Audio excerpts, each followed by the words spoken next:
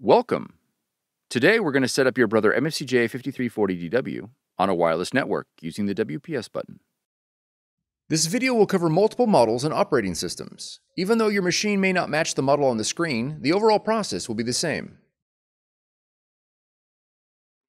Wi-Fi Protected Setup, better known as WPS, will enable your Brother machine to connect to your wireless router with a push of a button.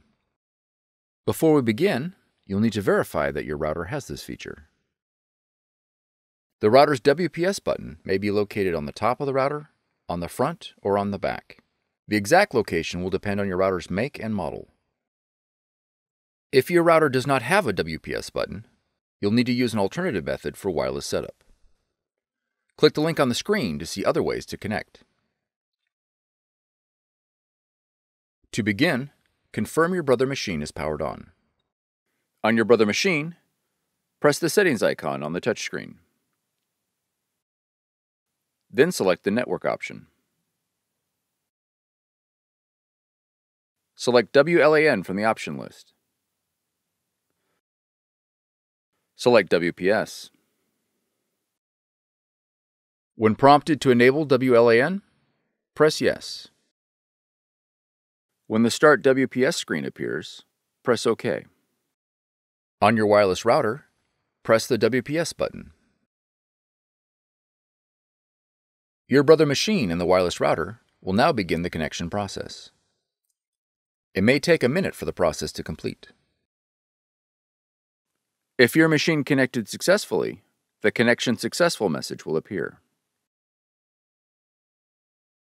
If the connection fails, a confirmation page will print indicating a failed connection. You'll need to reboot the power to your router and the Brother machine and try again. Download the full driver and software package from www.brother-usa.com. Navigate to your installer file and double-click to begin installation. When the device installation window opens, choose your language and click Next. Accept the license agreement and then click Next. Select Wireless Network Connection, and then click Next. Once your machine is connected to your wireless network, you can continue with the setup process. Select your machine from the list, then click Next. Select Standard Installation, and click Next. The iPrint and Scan application will automatically install. If you do not wish to install at this time, click Install Later. If your model supports scanning, you'll be prompted to install Paperport. Click Install. Once Paperport is installed, click Next. Click Next. Click on Brother Registration if you would like to register your machine at this time.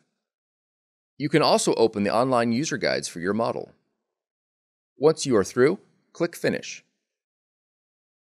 For more tutorials, FAQs, and videos, visit us at www.brother-usa.com.